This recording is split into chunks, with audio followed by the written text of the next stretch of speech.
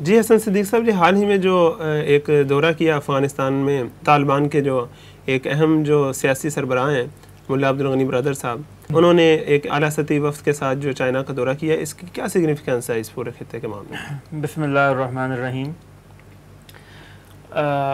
ये इसकी जो सिग्निफिकेंस है, ये हमें अंदाज़ा इसका लगाना बहुत आसान है कि अगर हम आलमी मीडिया की सुर्खियाँ देखें और भारतीय मीडिया की सुर्खियाँ देखें वो वेस्ट और वो नेटो जिसने ट्रिलियंस ऑफ़ डॉलर की इन्वेस्टमेंट की अफ़गानिस्तान में जिसके बहुत सारे मकासद थे मुआशी मकासद भी थे मजहबी मकासद भी थे और ये उसकी आप कह सकते हैं कि एक बहुत बड़ी शिकस्त थी कि वो जो मुलाकात थी और वज़ी ख़ारजा लेवल पे वो मुलाकात हुई हम्म। उससे यकीनी तौर पे नींदें उड़ी हैं नेटो की भी और भारत की भी।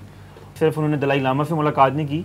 एंथनी ब्लिकन, जो वज़ी ख़ारजा अमेरिका के, बल्कि उन्होंने जो तिब्बत हाउस है, उसके मज़ीद ऑफिशल से भी बात की। देखिए, ये पाकिस्तान का जो रोल है, वो हमेशा से बहुत इंपॉर्टेंट रहा है, अफ़गानिस्तान के हवाले से।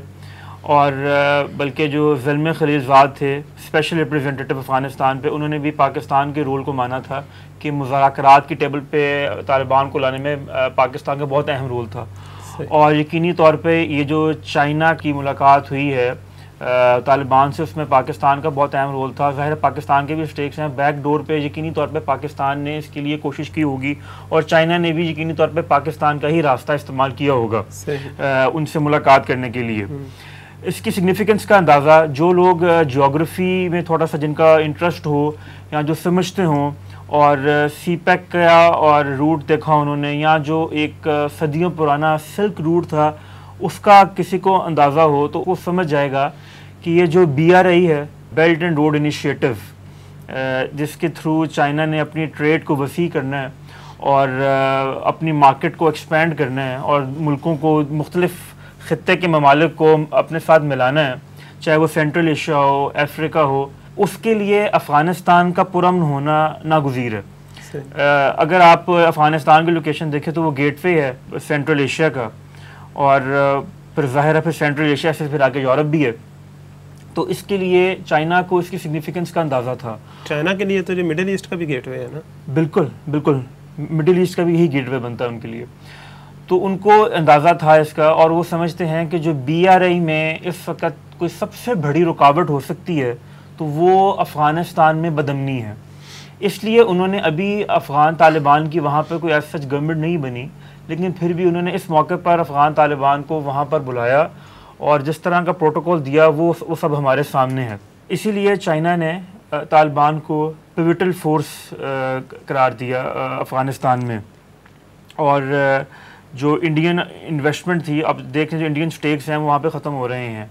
इसी वजह से अगर आप इंडियन कई तजिया कार भी देखें तो वो अब ये कहना शुरू हो गए हैं। फॉर एग्ज़ाम्पल गज़ाला वहाब उनकी कॉलमिस्ट हैं बहुत मशहूर उन्होंने कई किताबें भी लिखी हैं। उनका कहना था कि उन्होंने रिसेंटली आर्टिकल लिखा है उसमें उन्होंने कहना था कि हमें कि इंडिया सही अफ़गानिस्तान को नहीं समझा।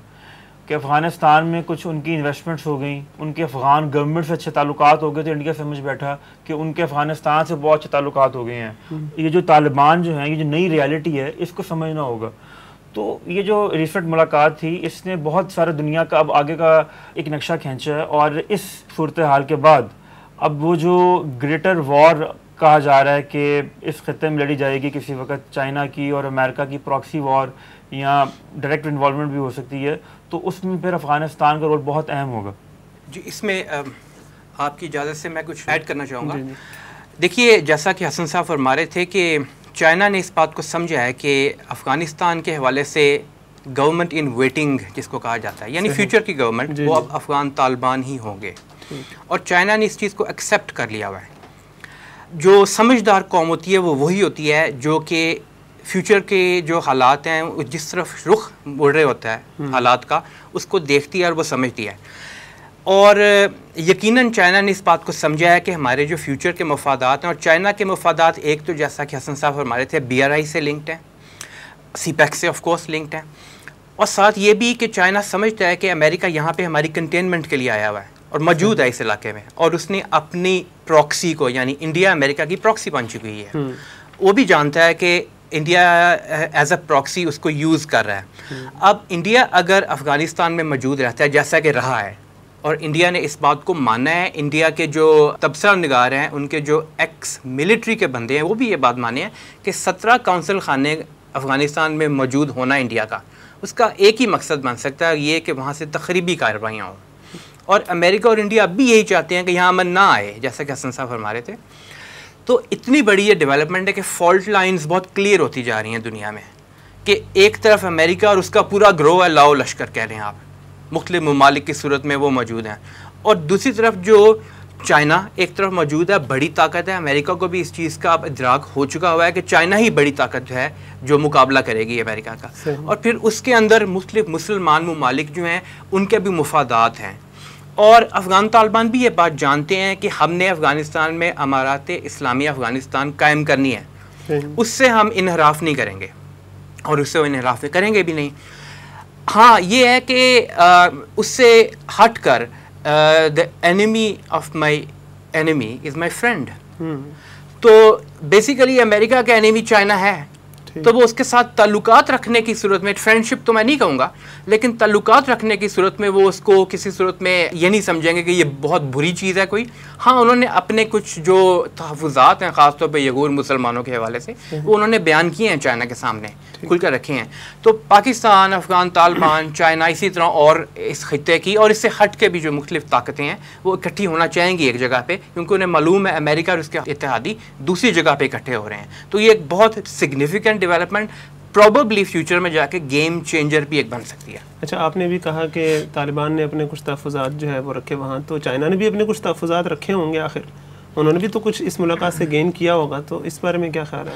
देखिए जो हमारे पास चाइनीज़ फॉरेन मिनिस्ट्री का इस पूरी मुलाकात के बाद मुला अब्दुल गनी बरदर साहब और चाइनीज़ फॉरेन मिनिस्टर की उसके बाद जो उनका इलामिया जारी हुआ उन्होंने अपनी स्टेटमेंट जो जारी की उसमें एक चीज़ थी सिर्फ़ जो कि उन्होंने अफ़गान तालिबान ने अश्योर करवाई है चाइना को कि जो वहाँ पे सेपरेटिस्ट मूवमेंट अगर कोई है चाइना में चल रही है।